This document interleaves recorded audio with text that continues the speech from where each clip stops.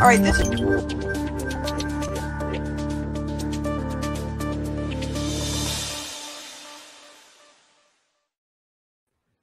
Good morning. Hello. Good afternoon.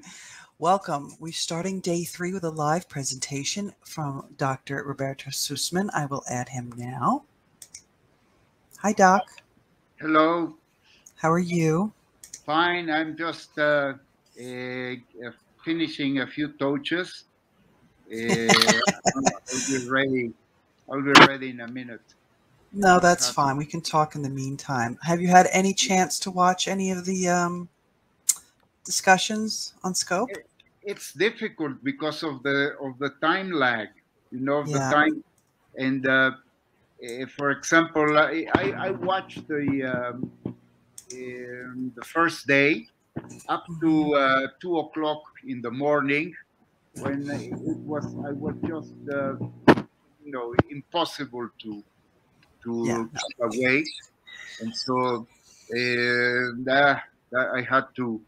Uh, I missed a lot. I, for example, uh, I missed uh, Marewa, hmm and uh, but anyway, the um, here here they are. The um, okay, I just want to uh, because one thing I, I would like to talk about today is Mhm. about third hand smoke, which is uh, one of the uh, inventions of uh, of our uh, friends Yeah. in public health, and uh, uh, I, I would like to say before beginning, are we on the air? Yes, we are. Okay. So, John Summers from the UK says hello. Yes. Okay. So uh, let me just uh, insert some some things here. That's fine. Take your time. And then when you're done, share it, and then I'll bring Yeah, it online. Inserting inserting one uh, a couple of uh, of images, which uh, Hmm. the images are uh, self-explanatory. Hi, Liana. It's all good. I mean, you've got a little extra time today because there's nobody straight after you. So if we have to take a little extra time, it's okay. Yeah, that's right. It's um, yeah, okay. That's uh, just one more, and I'm ready. Um, I'm ready here. No, it's Yeah. all good. See, the thing what I want to explain to people is that there is a process. It's not that anti-vaping began now, uh, suddenly. No, no, no. It's an ongoing process uh, that has its roots in the anti-smoking movement. So let me just put here a transition. I'll be ready in one minute. No, it's okay. If you know, if you want to, all the things that you've missed, if you go to the Scope um, YouTube channel, this is for anybody out there.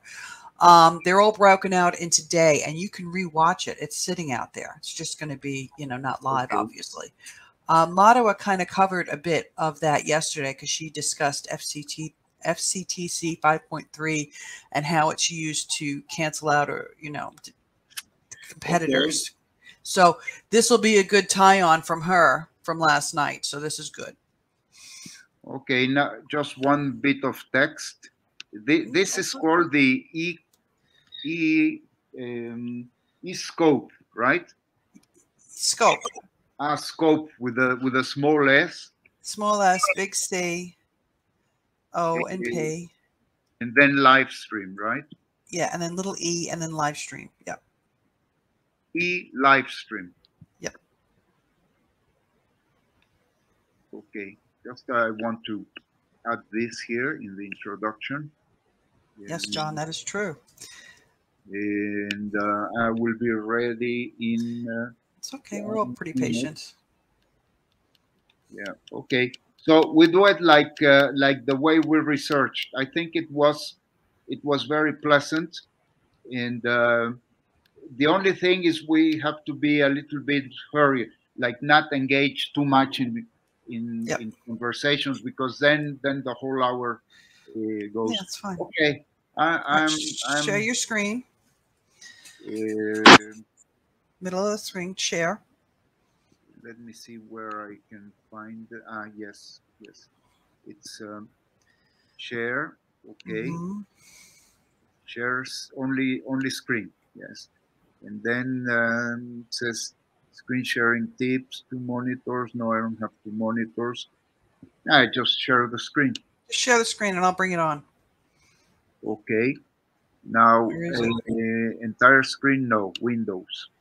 And window is this one, share. Okay. Okay, I'm going to bring, what I'll do is I'll bring your screen on. Yes. I'll, you know, I'll let you do your thing. I'm going to come off camera. I'll still be there yes. listening. And if there's any questions, do you want me to hold them until after you're done, or do you want me to bring in questions from people as they ask them? Um, if I'm on the middle of something, then let, let me finish the argument and then bring it. Okay. Right? All right, here we go. I'm gonna... There's a lot of, uh, we play by ear. I think okay. just the discipline, not to converse too much because then, then oh, just I know. discipline. But we can play it by ear. Okay. Okay, todo bien. Yep, see. Okay, I'm going to go off camera. I am going to let you proceed and I will see you later. Okay, but are you going to introduce me? Yes, I will. I'm just letting you know that this is what we're going to do. Everyone, this is Dr. Roberto Sussman. He's from ProVapeo Mexico. And today he's going to really explain to everybody where the anti-vaping mode has come from with public health and tobacco control. So Roberto, if you would, please, the floor yeah. is yours. Okay, so uh, let's begin the presentation. Okay, please uh, tell me if you can see my screen. Um, I can. I'm, let's see if everybody else. If people can see the screen. Should be.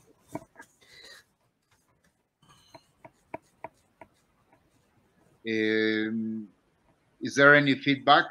No, it should be fine because it's about the same size size as Yes, yeah. Stephanie just said she can see it. So go ahead, carry okay. on. Well, uh, I'm going to talk about ah here. Sorry, an, er an error, a typo. It's virulent, not virulent. But anyway, what I would like to explain people uh, is that uh, the anti-vaping uh, push or offensive or war, whatever you want to call it, that we're feeling today it didn't start with vaping. It didn't start with Bloomberg. It didn't start with uh, uh, with it didn't start with the utterances and the popcorn lung and EVALI and all these things. What we are experiencing, it's a process. It's a process that I would call it's the decadence of a conservative and Puritan technocracy that has never been questioned, never been made accountable, and that uh, they, it feels within this technocracy, the feeling is that they are waging a very just and very justified war uh, for for improving worldwide health. It's like it's like crusaders that were about to take Jerusalem or Constantinople, and they were about to massacre the inhabitants and all the infidels. But they themselves, they felt they were doing something good.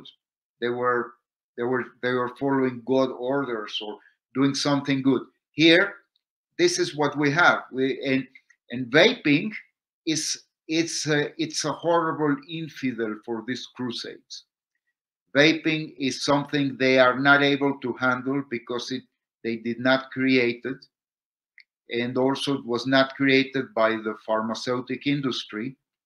And this is what we are seeing essentially. But let's see how things originated. Also by comparing the tobacco and nicotine science with the normal science. I'm a scientist i'm a physicist and it's interesting to compare public health science with regard to, to tobacco nicotine to physics, right? Okay, so um, the science of tobacco harm reduction. Okay, uh, this is also an important uh, thing to know. Uh, this diagram uh, is not complete, but uh, it basically shows you uh, that this is a multidisciplinary scientific activity. It's not only medical doctors. You know, medical doctors they they have the they know what they say and everybody else shut up. No, no, it's not like that.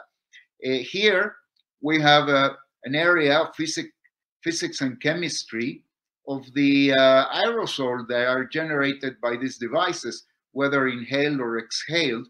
So this is physics and chemistry.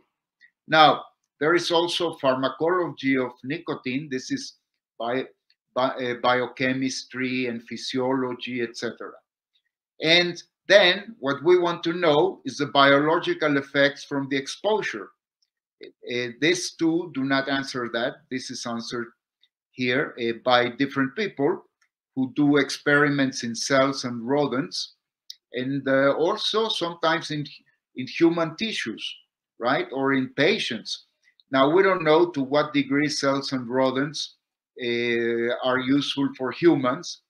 Uh, some, they might be, they basically uh, provide a biological plausibility, but not necessarily this plausibility will be realized. Like if you buy a lottery ticket, then it's plausible that you might win the lottery, but it's certainly it's not certain. Now, once in humans, uh, patients in, in, in a clinical setup, you can examine the biomarkers of different compounds that are uh, that are toxic or carcinogenic, and you find how the abundance of these biomarkers in the in the body liquids, right? Urine, saliva, plasma. Then uh, there's also clinical tests in respiratory system. Uh, they there are different tests, uh, and they are done on patients. And then it's also cardiovascular. You know, there there are clinical examinations of people who vape. How are the cardiovascular, respiratory um, signals, etc. So this is sort of in a clinical setup. This sometimes is called preclinical. Now, this is the area where medics, doctors take care of, right? But they also need some help from biophysics and, I mean, biochemistry and physiology. Now, here we have another different area of research, which is smoking cessation. Smoking cessation it can be tested by the so-called randomized control trials, which are the so-called uh, golden standard of, of medicine, but they can also be examined by cross-sectional, meaning cross-sectional means at the same time, lots of people at the same time, and it's retrospective because people talk about their past, so you can have some idea of how they evolved but you depend on what they tell you. This is retrospective.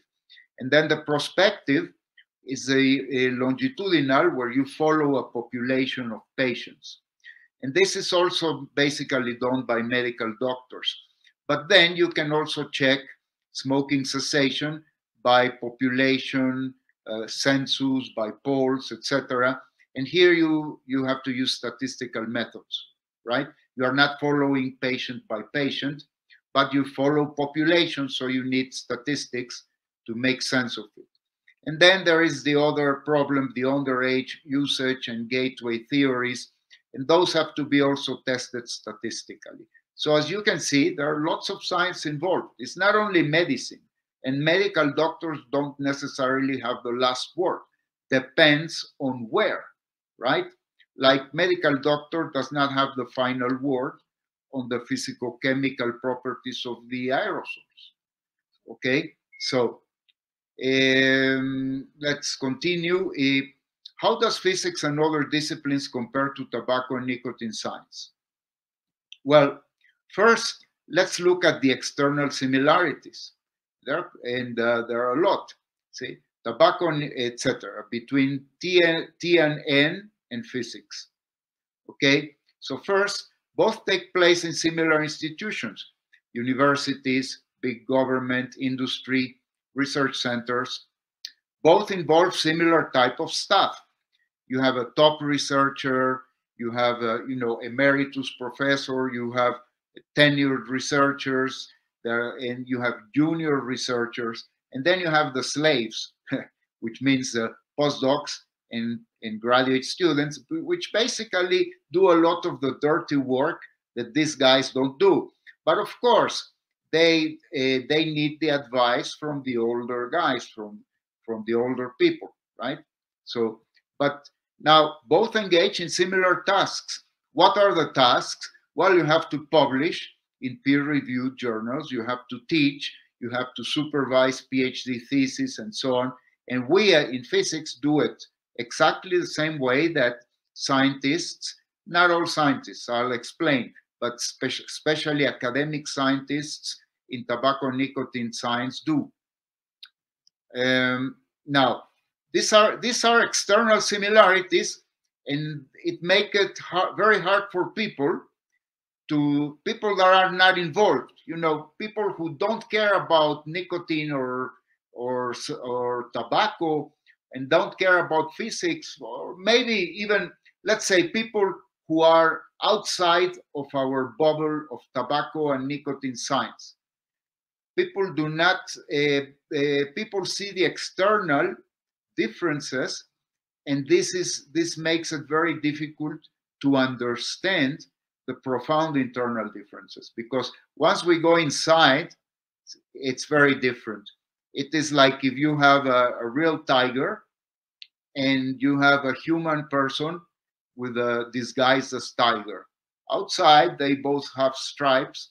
They look similar. If the human is able to jump and roar and whatever, but uh, once inside the skin, you will notice it's a very different animal. Now, it's also very important to mention the job security of, of different people. Like, uh, in, and this is true in, in, in both. That's another similarity like uh, some people have secure tenure administrators they also have secure tenure technicians researchers the junior researchers are not um, they might not get tenure uh, so there is more insecurity and so on postdocs and students have absolutely no job security their contract finishes and they have to go they have no more rights and even they can be dismissed before that if they are not working uh, the way they are expected to do. Now, Roberto. Yeah, sure. Can you explain what tenure is? Because a lot of people don't understand what that is. Well, tenure is uh, when you are working in a university and you are doing research and teaching, lecturing, and so on. There, there comes a point where uh, you you uh, you have a, a, permanent contract. That is, you you you uh, don't have to renew contracts every five years or every three years, and, and this is uh, having tenure. That you are you have a permanent position. This is essential, and uh, of course, in the United States, tenure has been every time they chew a little bit out of it. But at least in many other countries, you have tenure you have a permanent position. That, that's the meaning. Another question? No, that was it. Thank you. Okay. So uh, to start seeing the difference, let's see how development, descent, and disruption work in these two in these sciences. First, uh, some history. Uh, we have a, a, timeline that goes from the 1970s to, to present day. Now, what happened between the 1960s and 1990s? Well, tobacco science was under a very intense development, and uh, it was the time when epidemiological studies found a, an association between smoking and lung cancer, and uh, we have to put ourselves in that in the frame of that of that era, because before that cigarettes were a very popular uh, consumer product. And it was realized it was like uh, apple pie you know like everybody smoked or or or if not everybody at least you know 50 60 percent of the of the population adult population especially males used to smoke and it was seen as in practically harmless product and it was very popular. Medical doctors used to smoke, and the tobacco industry was a very important industry, and so on. So to suddenly discover the association between lung cancer and smoking was a bit of a shock at that time. It, it was it was a disruption. Disruption meaning that it, it shakes the system, right? Now this work was very creative, was very good science, um, and it was mostly epidemiologists, oncologists, cardiologists, pneumologists, mostly medical doctors, right? Okay, so the people who developed this, their hope was that this new science would determine a new policy, a new policy of public health that was necessarily going to be very restrictive of the tobacco cigarette. And of course, that was going to uh, end in a conflict with that industry. But at that time, uh, in these days, it was a very, uh, people who people were idealists. People were trying to serve humanity here, and they were not powerful. Now, once it became clear these associations, more people of other fields like lawyers and uh, public relation people, politicians, started to get interested in the in in this issue, and then they came, came the tobacco wars because the more people uh, outside of this initial bubble of medical doctors, more people, lawyers, the public, even the public itself, politicians, uh, senators, public relation people, lawyers, they told the doctors, uh, science, the, your science is fantastic, but it's not going to be sufficient. We need politics to change attitudes and to change behaviors. And then, of course, the tobacco industry didn't like that. It was very powerful and it opposed it. And those were the days when uh, tobacco uh, uh, industry executives were called for hearings in the Senate, and they tried to also they tried to falsify the science to say that oh no, we don't know enough, we need more time. Uh, you know, the merchant of doubt attitude that you have a very a very consistent and well done epidemiological association between uh, tobacco smoking and cancer and then they would say no but this is not correct and uh, you know tobacco science at that time was uh, was not uh, was not good science because it was a science with political aims trying to undercut and to undermine the new science that was saying that tobacco smoking was the cause of, uh, and cigarette smoking in particular, was the cause of many, many illnesses. So there was a conflict, and the tobacco, as we know, the tobacco wars, the tobacco industry lost these wars, and they became a rogue industry. But the people who won this war became very powerful, and they liked it. They saw that it's a it's a machinery, it's a technocratic machinery that receives a lot of funding from the government and also private. At that time, Bloomberg was not in the in the area, but uh, there were other private funders, and the pharmaceutical industry got in bed with them because uh, you know it's illnesses, so we need uh, uh, we need medicines and so on. So it became a big machine, a big lobbying machine. And of course, science was also was not dropped out, but science was not no longer at the driving seat. Okay, so what we have, we have an attitude that says, well, science is settled. Uh, well, some details, uh, some tactical details here and there are still need to be resolved by science, but the but the core is settled. Settled. Tobacco kills etc., etc. And now they devised a policy, a set of policies to get rid of smoking. And science was conditioned to support these policies. It was upside down of what the original people believed. It, originally, eh, science would determine policy But here, the other people who enter in this field and, and, and ended up forming a sort of lobby, a sort of technocratic lobby uh, that is allied with pharmaceutics and has lots of contacts with, uh, with the political system in the United States. Here I'm describing what happened in the United States. Later it spread globally.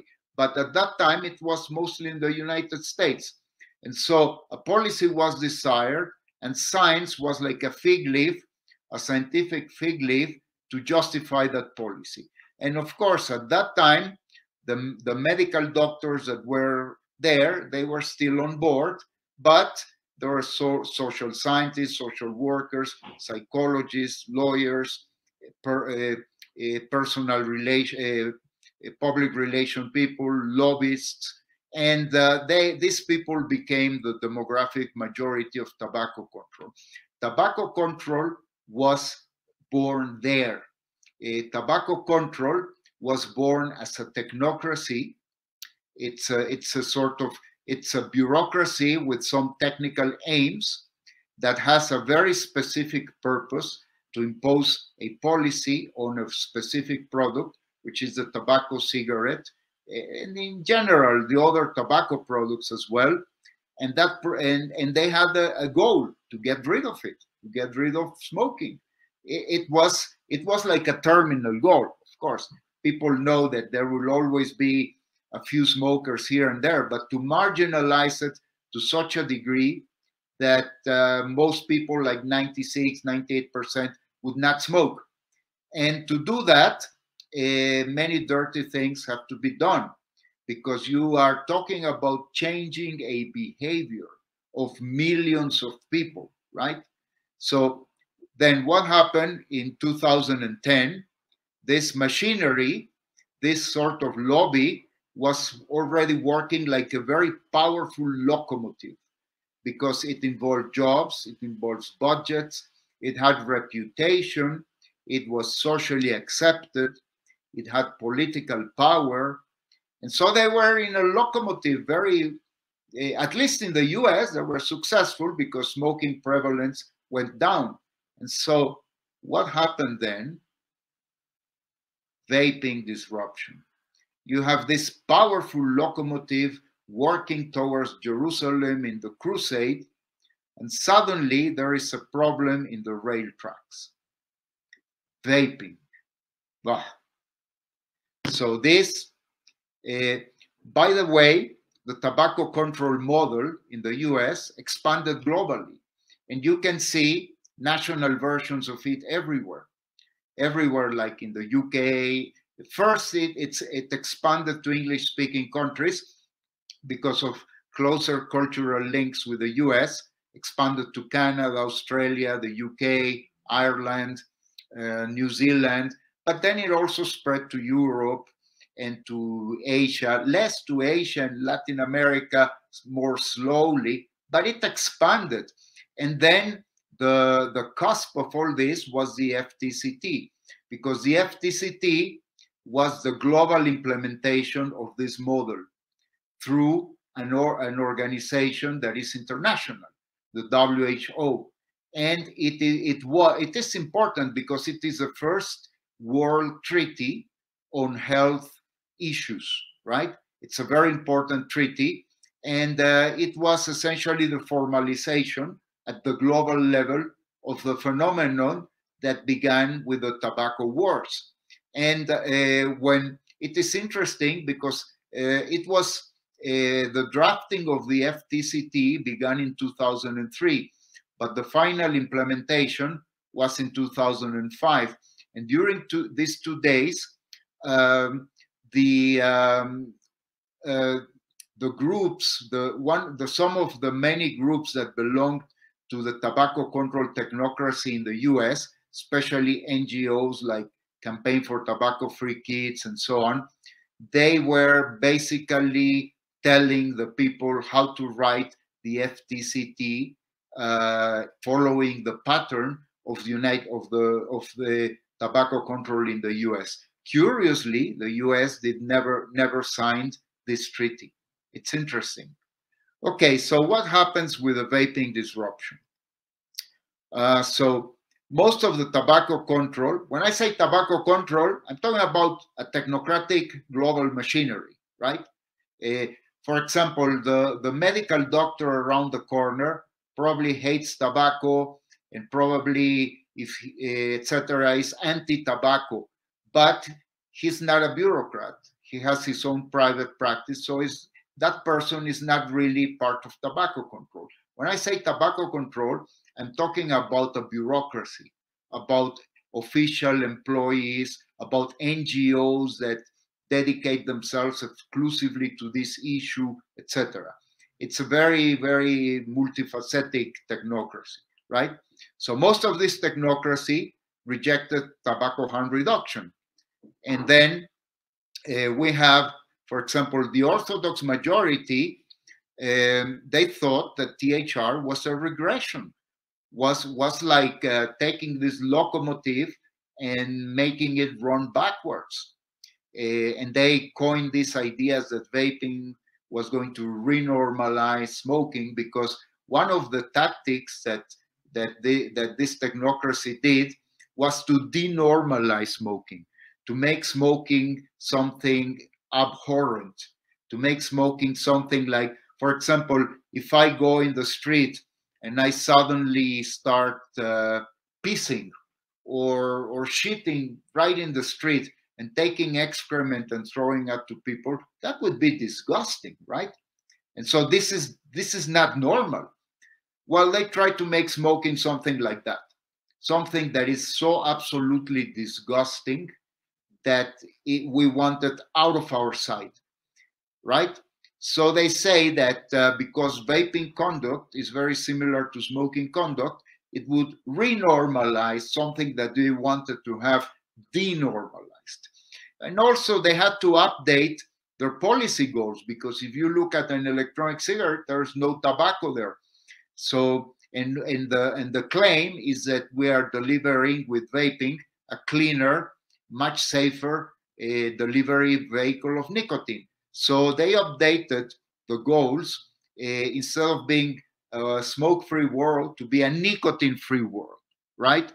And they continue with the idea that the fulfillment of the policy is what determines the type of science that will be produced.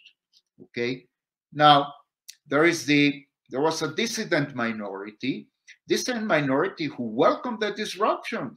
They say, look, uh, this uh, is actually giving more impulse to the locomotive, uh, making it easier. It favors the original anti-smoking policy. And they, of course, oppose this updating that, to make it an anti-nicotine, say nicotine is not the problem. And then uh, they also went back to the original idea that the new tobacco harm reduction science would have to determine policy, not the opposite way. Now, of course, uh, we all know that there is a geographical divide, like the what I described in the left is basically the dominant attitude in the United States. And in one country, uh, most of the dissident minority is in one country. There, there is maybe now New Zealand, maybe two countries.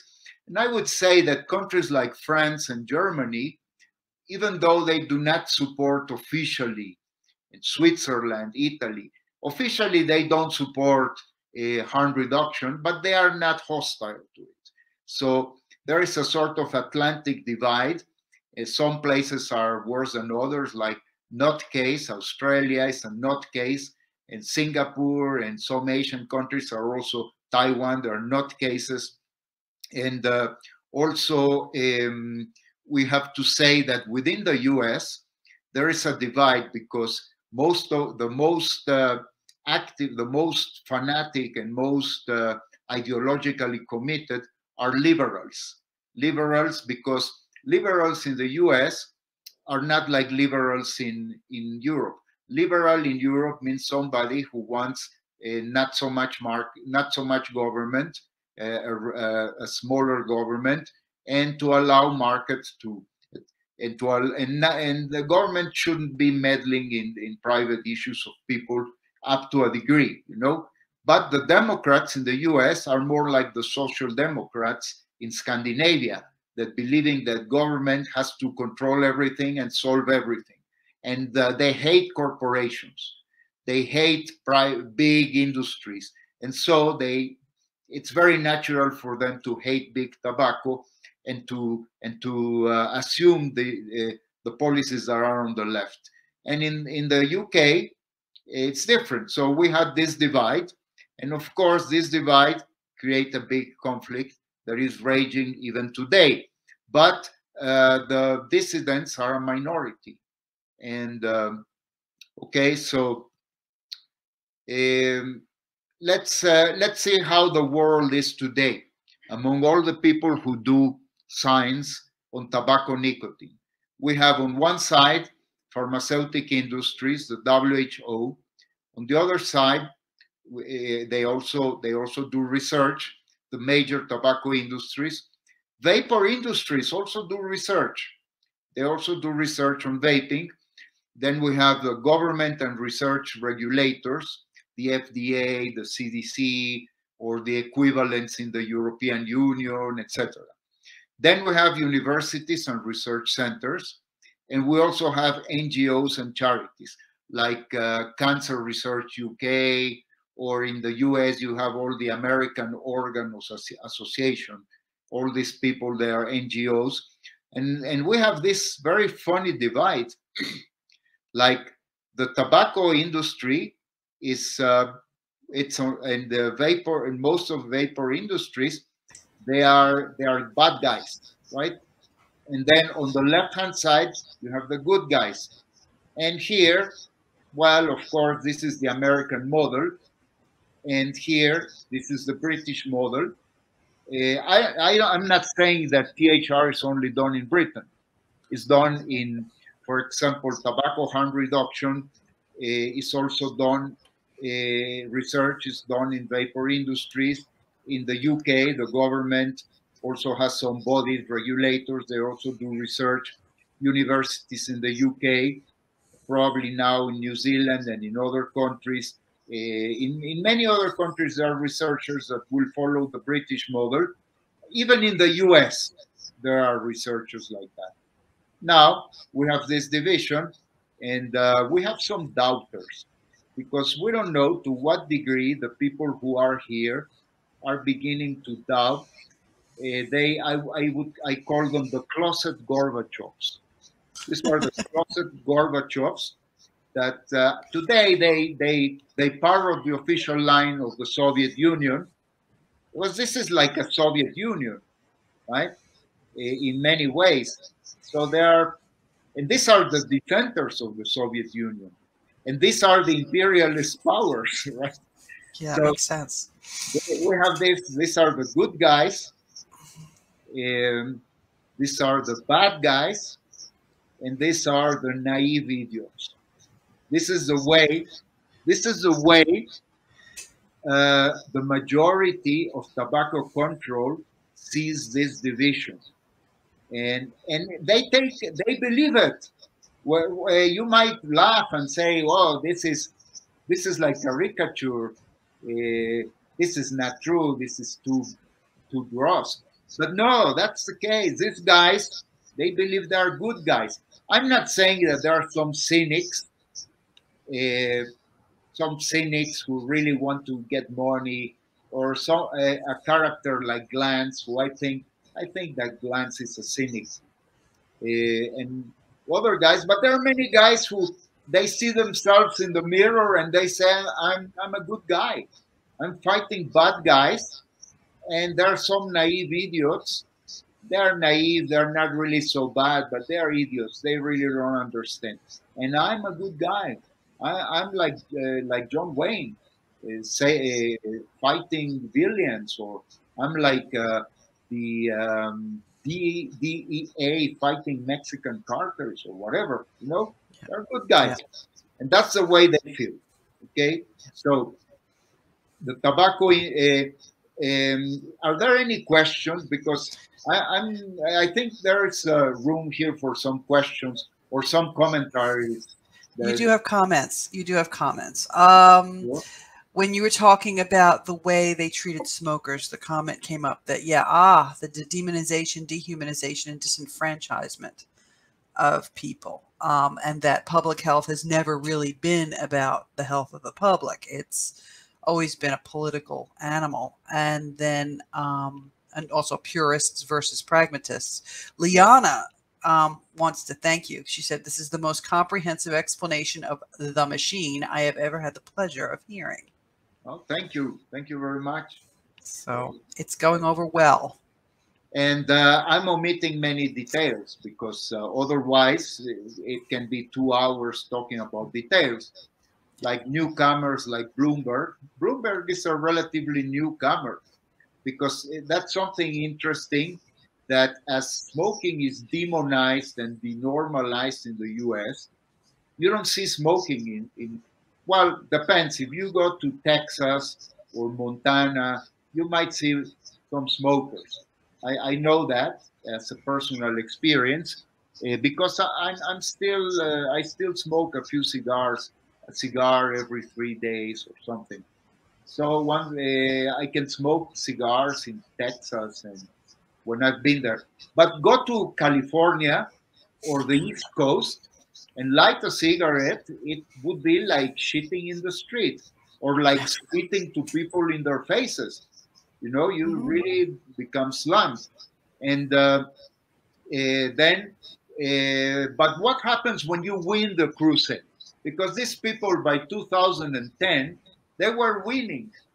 Smoking was denormalized completely, almost completely. Smoking prevalence went down very rapidly. So what happens then? You start getting less and less funding. People are becoming to be less and less interested in your health crusade. In fact, around 2010, some people uh, started saying, well, smoking is already done. Now our problem is obesity. So we need more money for take some money from smoker, from anti-smoking, and put it in the anti um, junk food and diabetes and so on.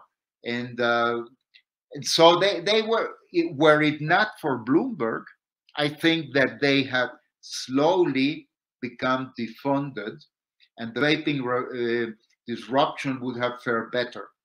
But Bloomberg came and Bloomberg was like a shot of new blood to these people, right?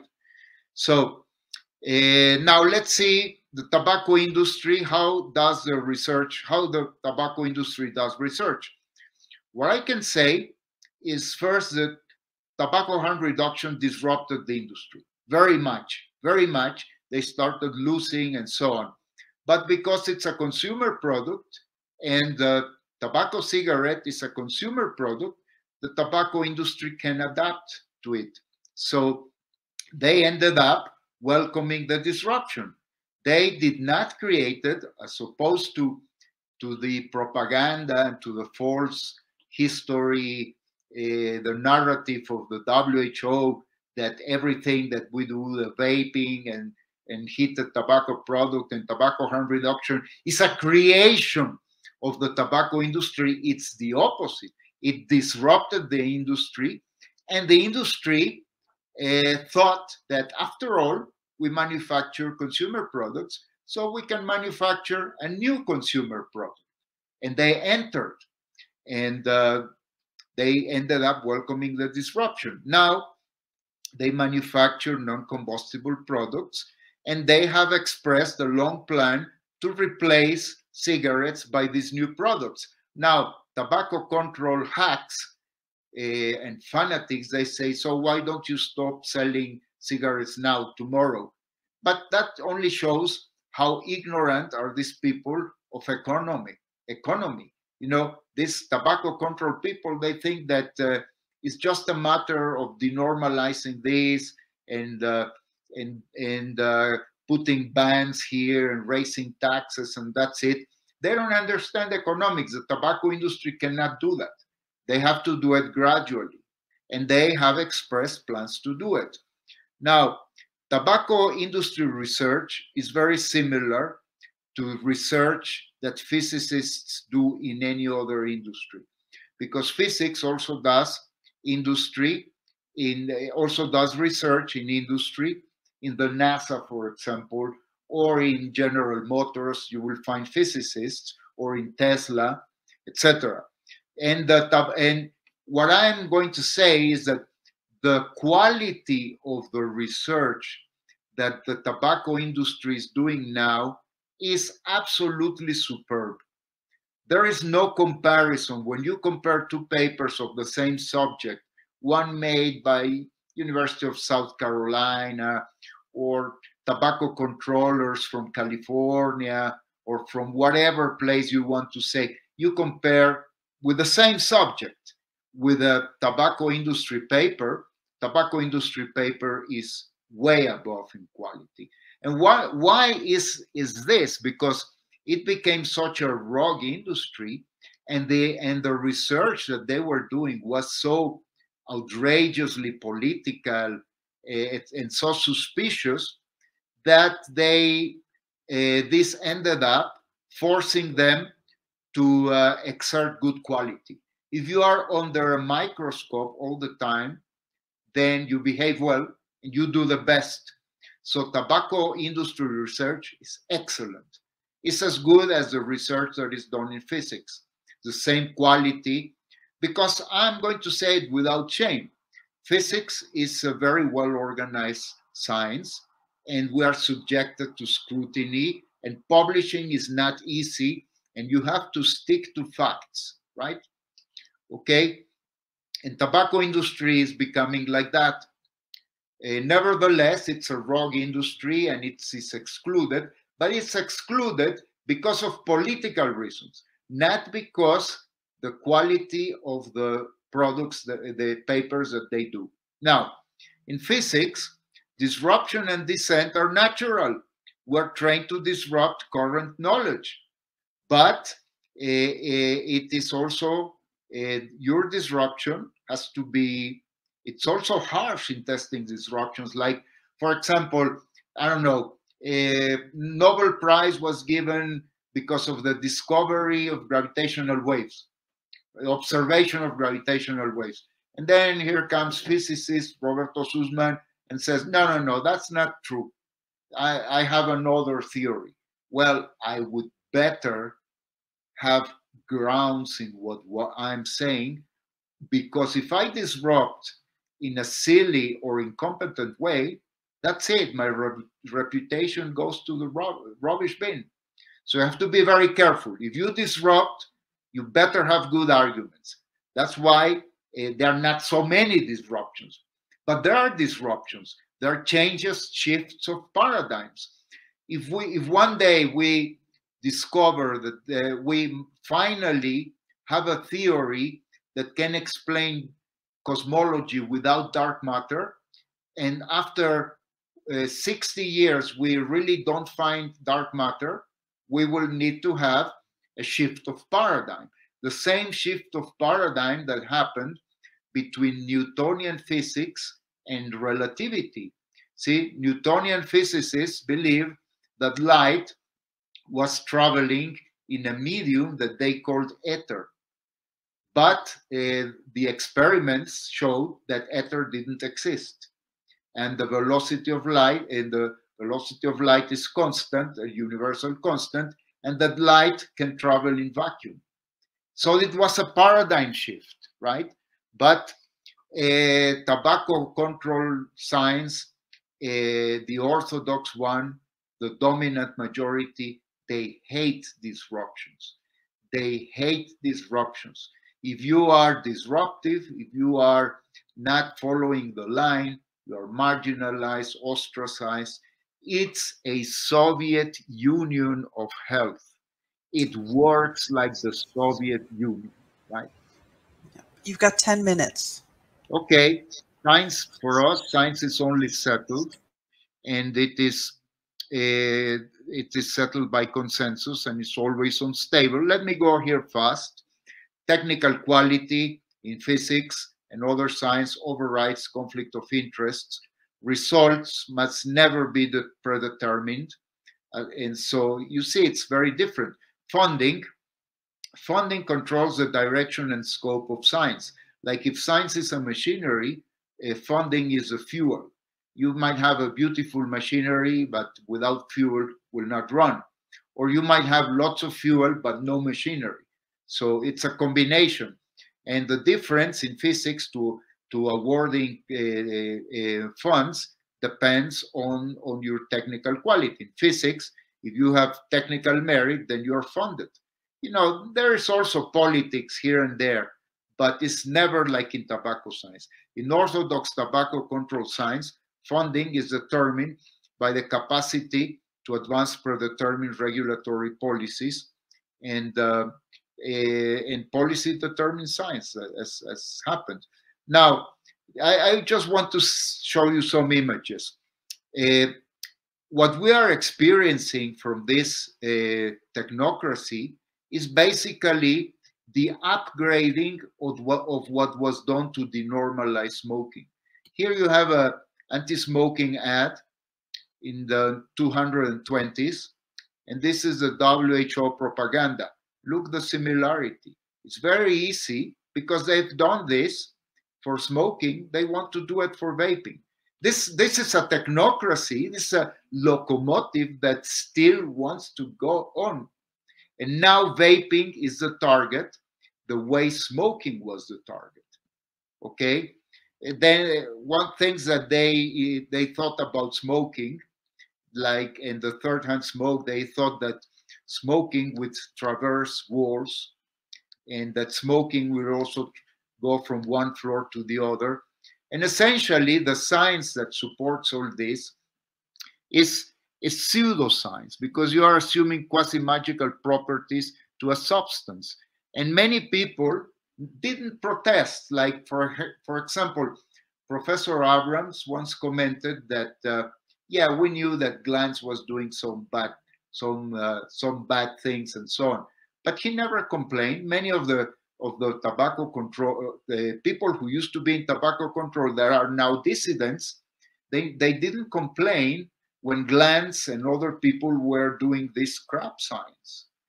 But I understand them. I understand them because they, and they would probably, I, I, I'm not trying to put myself in their shoes, but it was a utilitarian benefit to say we're doing crap science and denormalizing but it's for the better good. It's to end smoking. Smoking is so bad that I'm willing to tolerate and turn my eyes the other way as long as, as smoking goes down. But the problem is that this pseudoscience is easily applied to vaping, right? It's another thing of this another thing that if one if one um, if somebody smokes here everybody is affected by secondhand smoke and third-hand smoke. Okay, so third-hand smoke, what is? It's it's let me say it crudely, it's bullshit. It's pseudoscience. It's a few, it's nanograms of residues of uh, somebody smoked, and the next day uh, there is some residues, and they claim that here they claim that ventilation is not enough to remove it, and and that it can stay for ages and so on. It's all it's all wrong. It, it, the detergent that you would use to clean up the wall would pollute much more than third-hand smoke. Now, this article is interesting because they recognize that the beliefs, see, look at the title, beliefs about health effects of third-hand smoke and home smoking bans. They show that the more people believe that third hand smoke is dangerous, the more people will support smoking bans at home. Look how intrusive is this. It's not that you cannot smoke in a restaurant in interiors, which I support. It's not that you cannot smoke in a library. I agree with that. No, you cannot smoke in the whole campus. You cannot smoke in the whole city. You cannot smoke in your house. And this is what these people want to do with vaping. This is the goal. I'm about to finish. Conflicts of interest are irrelevant for us, but uh, conflict for interests, uh, conflicts of interest are the way, the excuse to if you are a dissident, then you have no money, and somehow you get uh, a few pennies from from somebody who has a very indirect connection with the tobacco industry. That's it. That's it. You're tobacco industry, and you are excluded. And and because this science, I'm talking about journals, editors that publish uh, tobacco science. It's it's it's rotten. The whole system is rotten. That doesn't mean that that everybody is rotten, but the system is rotten. There are exceptions, and and dissidents still are able to publish in the tobacco journals. I've been a referee in these tobacco journals, so it's not completely rotten but there is, uh, and it depends from journal to journal, but it's very difficult to publish. There are, eh, okay, historical precedents. Let me go here very fast. I'm about to end. Historical precedents, it's uh, the Soviet Union, Lysenkoism. Uh, Stalin's favorite biologist was Trofim Lysenko. He imposed on Soviet biology the political and ideological strictures to comply with Stalinist dogma. So it was a predetermined science. Stalinist dogma had to be obeyed, and the biologists had to provide evidence for that.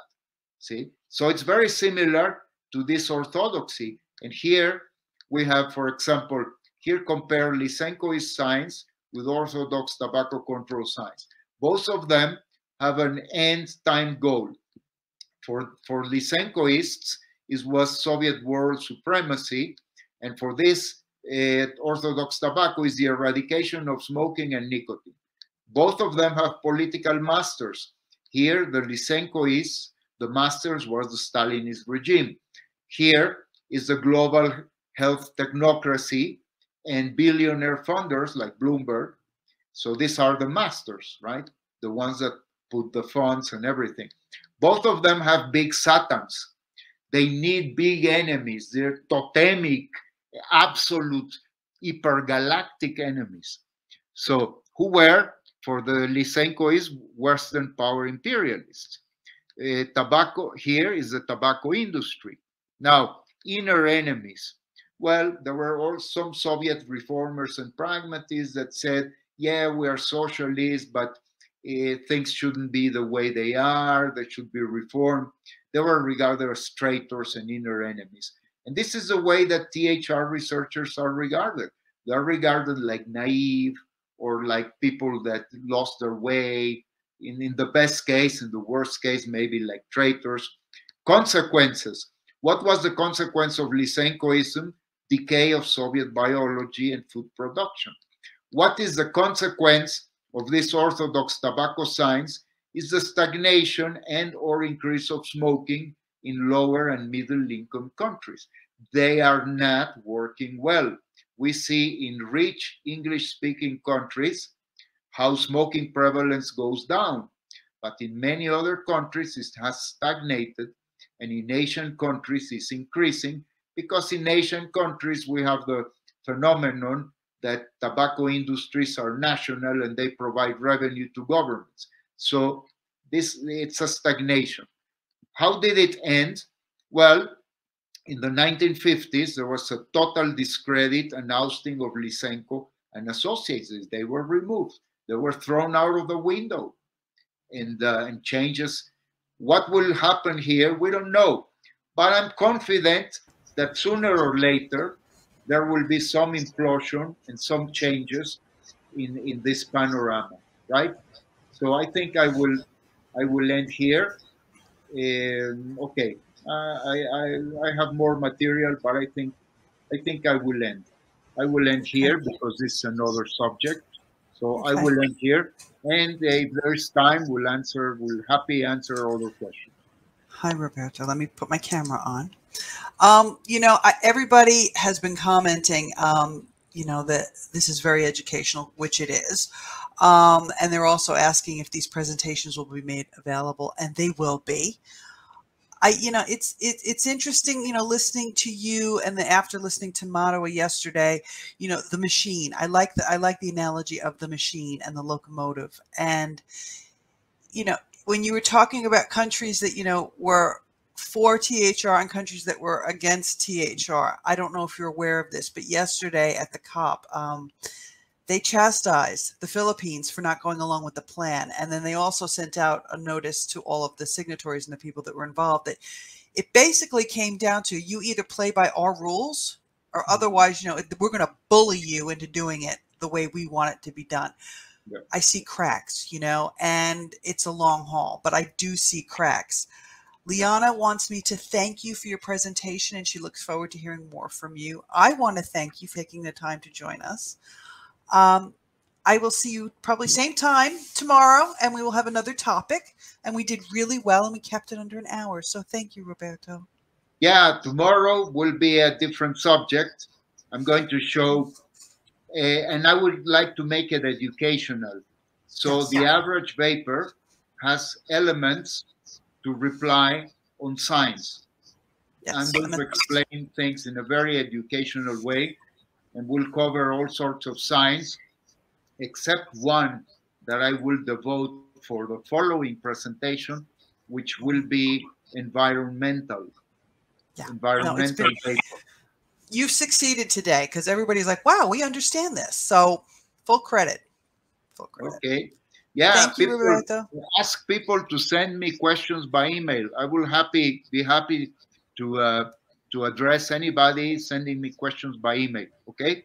Yeah, absolutely. And anybody who came in late, you can re rewind back into the live stream to watch the entire presentation, and you will see that eh, um, Roberto's email scrolls on the bottom. So once again, thank you to the audience for joining us. Thank you, Roberto, for joining us. I will see you tomorrow. See you tomorrow, same time. Bye. Same time. Bye. Bye.